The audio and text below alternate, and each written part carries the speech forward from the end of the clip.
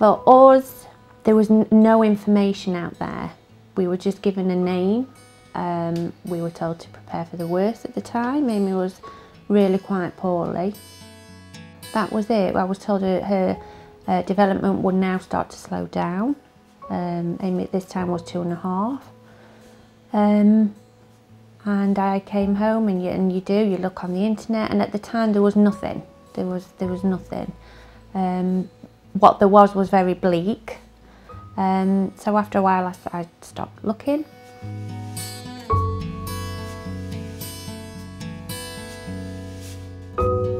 Sixteen years on, I don't know why, but something made me look again on the internet and I found Dravet Syndrome UK. Um, and I couldn't believe it. I'm thinking, wow, you know, she's not the only person in the world to have got Dravet syndrome. And it's made such a huge difference to all our lives.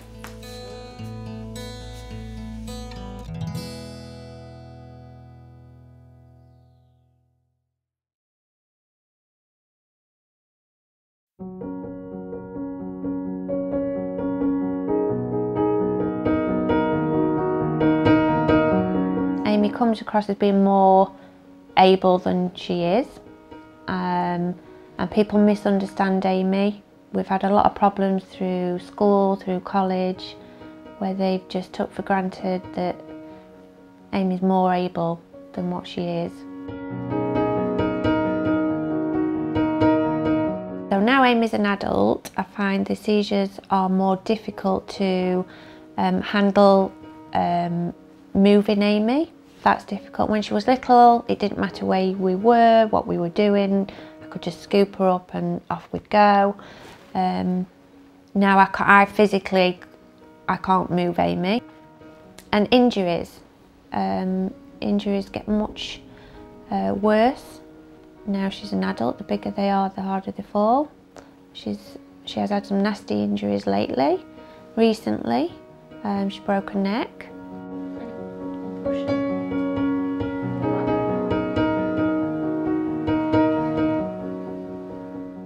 It has been hard. I mean, I've had questions before where people say, how's it affected you?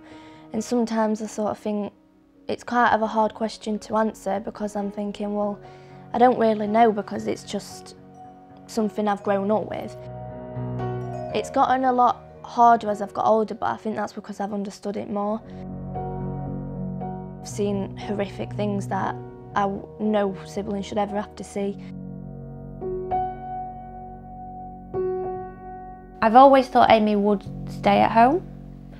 Um, it's only probably been this last year that I've started to think about Amy leaving home.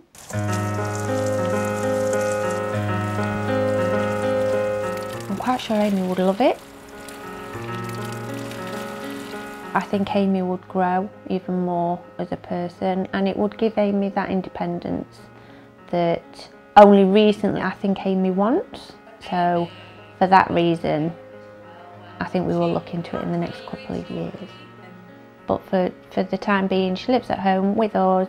She attends Fair Play four days a week, which is a independent living group.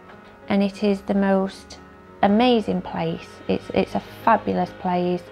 Uh, I can take Amy there, leave Amy there, and I know she's well looked after.